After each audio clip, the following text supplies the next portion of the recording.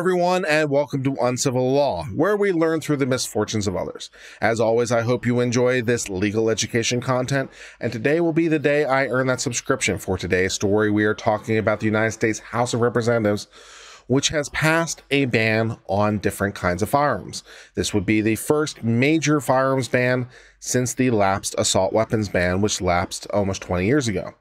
And so now it goes off to the Senate for further consideration. So let's read this article for NPR to figure out what's happening. Let's get started with this. The House passed legislation on Friday to revive a ban on certain semi automatic guns, the first vote of its kind in years, and direct response to firearms often used in mass shootings throughout communities. Once banned in the United States, the high powered firearms are now widely banned blamed as the weapons of choice among young people responsible for many of the most devastating shootings. Speaker Nancy Pelosi pushed the vote towards passage in the Democratic run House, saying the earlier ban saved lives. That is incredibly debatable at best. Most of the most of the sort of meta studies I've seen on the previous assault weapons ban suggested the previous assault weapons ban did little to nothing to save lives. So I, I don't think that that's really demonstrably true by the science. President Joe Biden held the House vote saying the majority of American people agree with this common sense action. Is it common sense, though? He urged the Senate to move quickly to get the bill to desk. However, it's likely to stall in the 50 50 Senate, I would think. The House legislation is shunned by Republicans, who dismissed it as an election year strategy by Democrats, also because the, the ban, by its own terms, would prohibit arms in common use as confirmed by Nadler during the markup of the bill.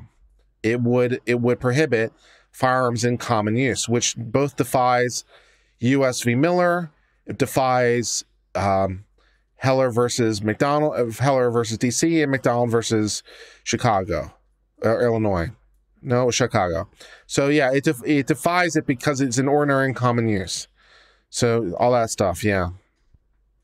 The bill comes at a time of intensified concerns about gun violence and shootings. The supermarket shooting in Buffalo, New York, the massacre of schoolchildren in Uvalde, in which my continuing contempt continues to go to the 370 police officers who did F all. So um, I'm not sure. Can we ban the 370 police officers in addition to banning the guns? Because that would make me a lot happier. And the Texas and the July 4th shootings in Highland Park. Voters seem to be taking such election year votes seriously, as Congress splits along party lines and lawmakers are forced to go on the record with their views. A recent vote to protect same sex marriage from potential Supreme Court legal challenge won a surprising amount of bipartisan support. Biden was instrumental in helping to secure the first semi automatic weapons ban as a senator in 1994. Yeah, that's true. The Biden administration said that for 10 years, while the ban was in place, mass shootings declined the the evidence that the uh, assault weapons ban did anything to save any lives is highly debatable, and the and the meta analysis I've seen seems to suggest it was ineffective at best. Republicans have stood firmly against the limits of owning the high-powered firearms during emotional time by saying it's a gun grab, which it is because it's literally trying to grab guns. Democrats have argued the ban on weapons makes sense, portraying them as extreme and out of step. Representative Jim McGovern of, De- of Massachusetts said the weapons ban is not about taking away American Second Amendment rights, but ensuring that children have the right to not get shot in school. It's a little bit about taking away their Second Amendment rights, Representative, when you're taking away weapons that are in ordinary and common use, which is exactly what Heller and McDonald were talking about, as well as Miller for that matter even though Miller's a bit of a garbage decision in terms of the Supreme Court analysis, it's just poorly written. Like it's just not it's just a not well written decision. Uh, it still talks about things being in common use. Pelosi displayed a poster of a gun advertisement for children's weapons, smaller versions that resemble the popular AR-15 and are marketed with child's cartoon characters. Disgusting, she said. Uh huh. In one exchange, two Ohio makers, lawmakers squared off. Your freedom stops where mine begins, and that of my constituents begins, Democrat Representative Pator told Jim Jordan. Schools, shopping malls, grocery stores, Independence Day parades shouldn't be the scenes of mass carnage and bloodshed. Uh, the, the, the rights don't work that way. You want to punish the people who do the bad things? Great. But you want to punish law abiding Americans? You have a problem. The bill would make it unlawful to import, sell, or manufacture a long list of semi automatic firearms. The Judiciary Committee Nadler said it includes an exemption that allows for possession of existing semi automatic guns. So I guess get yours today. So if this bill passes, I suppose I have to go out and buy an AR 15. For nearly two decades since the previous ban expired, Democrats have been reluctant to revisit the issue. But voter uh, uh, opinion appears to be shifting. Yeah, but the legal domain is, is a problem. Jason Ouimet, the executive director of the Institute of Legislative Action. I wondered who it was since Chris Cox left the organization. Apparently, it's Jason Ouimet.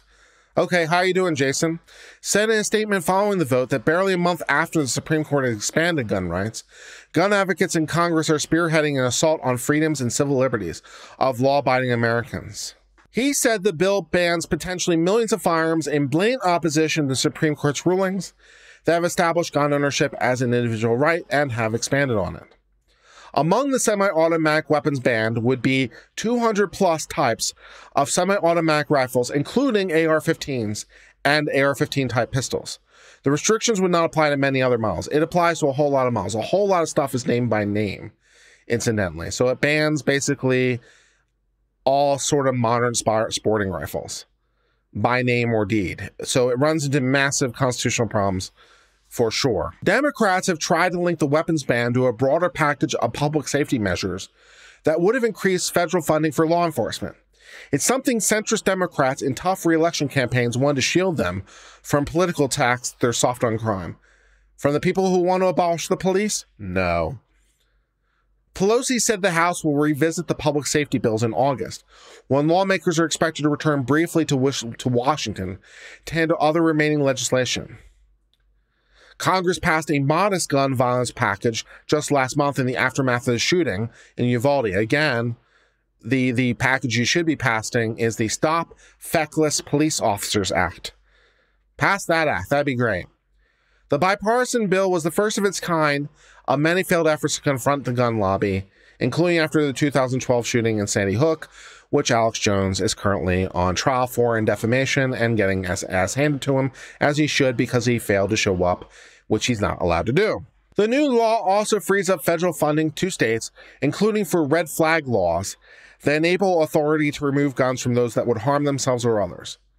But even this modest effort at halting gun violence comes at a time of grave uncertainty in the United States over restrictions of firearms, as the most conservative Supreme Court is tackling gun rights. Yeah, they're going to have a problem with a lot of this because you're banning a lot of firearms that are in normal, common, ordinary use.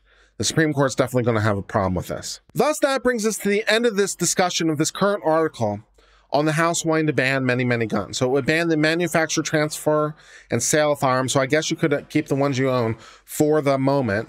Wait till that stops being a thing. But they want to ban new ones, including weapons that are undeniably in common ordinary use, which would defy the U.S. Supreme Court. So, yeah, this bill has constitutional problems written all over it, and I'm sure will be challenged in the courts as things persist. But at least for the moment, that brings us end discussion of this case. Thank you so much for being part of the Uncivil Law family. If you enjoyed this legal education content, please hit the subscribe button.